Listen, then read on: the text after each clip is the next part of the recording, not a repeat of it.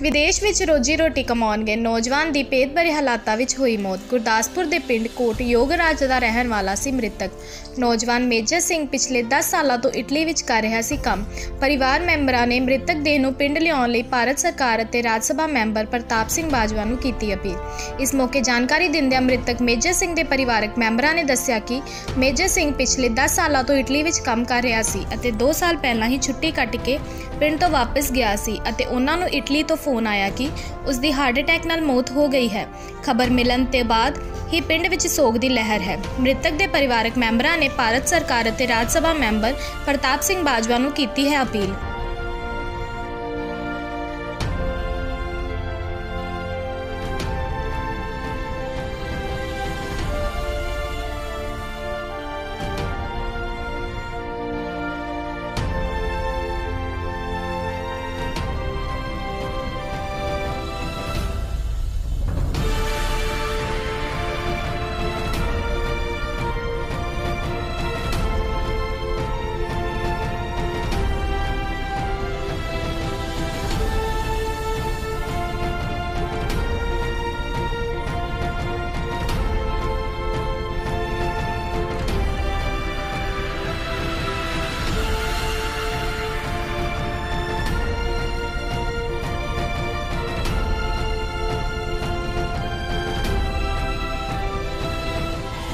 Italy ਦੇ ਵਿੱਚ ਜਿਹੜੀ ਮੇਜਰ ਸਿੰਘ ਡੈਥ ਹੋਈ ਆ, ਉਹ ਸਾਡਾ ਪਰਿਆਂ ਸੀਗਾ, ਮਾਮੇ ਦਾ ਪੁੱਤ ਭਰਾ ਸੀਗਾ।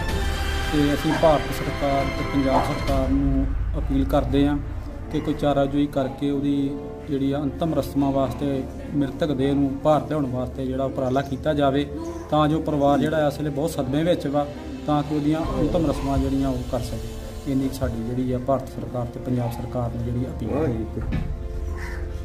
ਜਿਹੜਾ ਮੇਜਰ ਸਿੰਘ ਸੀ, ਮੇਰਾ ਜੀ ਭਤੀਜਾ ਸੀਗਾ ਤੇ ਇਹਨਾਂ ਦੀ ਉੱਥੇ ਇਟਲੀ 'ਚ ਰਹਿੰਦਾ ਸੀਗਾ ਮਿਜ਼ੋਰਮ ਸ਼ਹਿਰ ਹੀਗਾ ਇਹਦਾ। ਤੇ ਇਹਦੀ ਮੌਤ ਹੋ ਗਈ ਆ, ਅਸੀਂ ਸਰਕਾਰ ਤੋਂ ਪੰਜਾਬ, ਭਾਰਤ ਸਰਕਾਰ ਤੋਂ ਮੰਗ ਕਰਦੇ ਆ ਕਿ ਉਹਨਾਂ ਦੀ ਮ੍ਰਿਤਕ ਦੇ ਸਾਡੇ ਇੱਥੇ ਭੇਜੀ ਆ ਜੋ ਕਿ ਅਸੀਂ ਇਹਦੀਆਂ ਅੰਤਮ ਰਸਮਾਂ ਪੂਰੀਆਂ ਕਰ ਸਕੀਏ। ਤੇ ਇਹੀ ਸਾਡੀ ਹੱਥ ਜੋੜ ਕੇ ਬੇਨਤੀ ਆ, ਸਾਡੇ ਇਲਾਕੇ ਦੇ ਪ੍ਰਤਾਪ ਸਿੰਘ ਬਾਜਵਾ ਰਾਜ ਸਭਾ ਮੈਂਬਰ ਹੈ ਜੀ, ਉਹਨਾਂ ਗਰੀ ਵੀ ਬੇਨਤੀ ਹੈ ਕਿ ਜੋ ਵੀ ਕਰ ਸਕਦੇ ਹੋ